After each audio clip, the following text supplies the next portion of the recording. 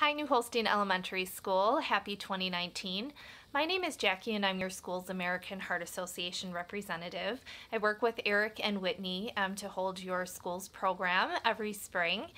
This year we are celebrating 40 years within the schools and our program um, changed its name from Jump Rope for Heart to now it's called Kids Heart Challenge. And the challenge comes in as we are asking students to um, go online and take a Heart Healthy Challenge or Heart Healthy Pledge. And they can choose to drink water, exercise 60 minutes, or take the challenge to do a kind deed.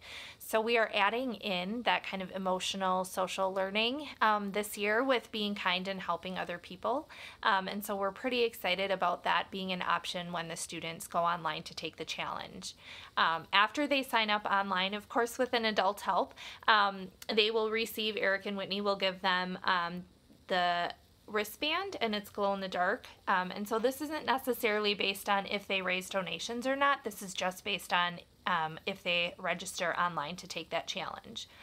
So the other piece, um, as your school is piloting for us this year, is the other piece is we have um, this big poster behind me.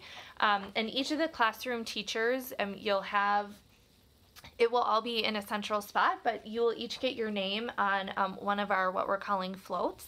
And the more um, the more students you have sign up to take the Heart Healthy Challenge online, um, your float will move across. Um, your float will move across that pond. And then we also have these classroom sheets, um, and so these will also be up in the gym and um, the students will be able to put um, their name, his or her name will go on the poster.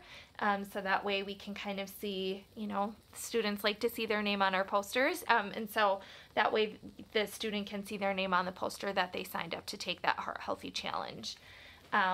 The competition part of this online challenge comes in um, as we're giving something to the winning teacher. So um, we're asking you, we already have some pre-made messaging. If the messaging can please go out either on your social media page or um, your weekly emails that you send or your newsletters or whatever, however you best um, kind of communicate with your families.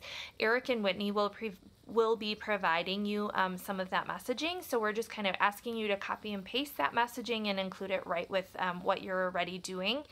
And then the winning teacher um, will receive a $25 Amazon gift card from the American Heart Association, and the winning class will receive a recess kit of jump ropes and um, some extra goodies, some other goodies. So um, again, I just wanted to take this opportunity to kind of explain to you a little bit about some of the new things that are um, happening.